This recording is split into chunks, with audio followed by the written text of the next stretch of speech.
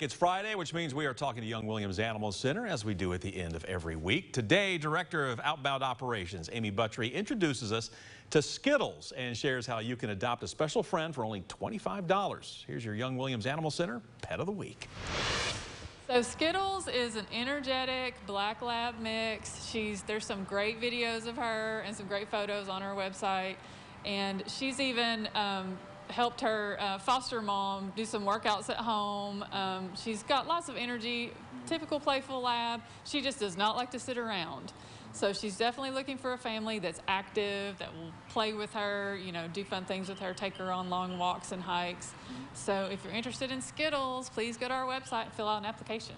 A great way to help animals right now and to help the uh, Young Williams Animal Center is to participate in our calendar contest. We're already starting the one for 2021. I know everybody's thinking about 2021 right now. So um, you can send in a picture of your pet for the calendar and they'll be voted on by the public. Um, so there is a fee to enter and there's a fee to vote.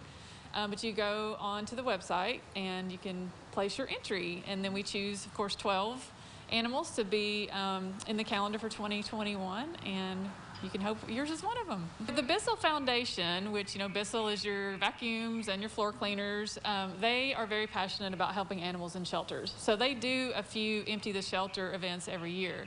This year with COVID-19, they've done a couple of them right during this crisis to help get the animals out of the shelter even faster.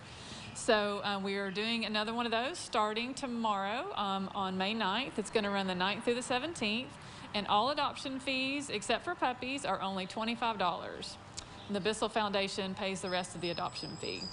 So um, really important if you come adopt during that time. Of course, we're still doing curbside. Everything's by appointment. So you go to our website, find an animal you're interested in, fill out an application, and then we'll contact you from there.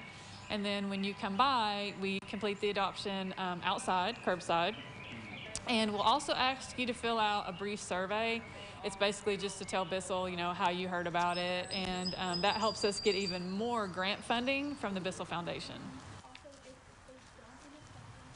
And if you would like to adopt, foster, or check out any of those resources offered by Young Williams, all you have to do, head over to their website, young-williams.org.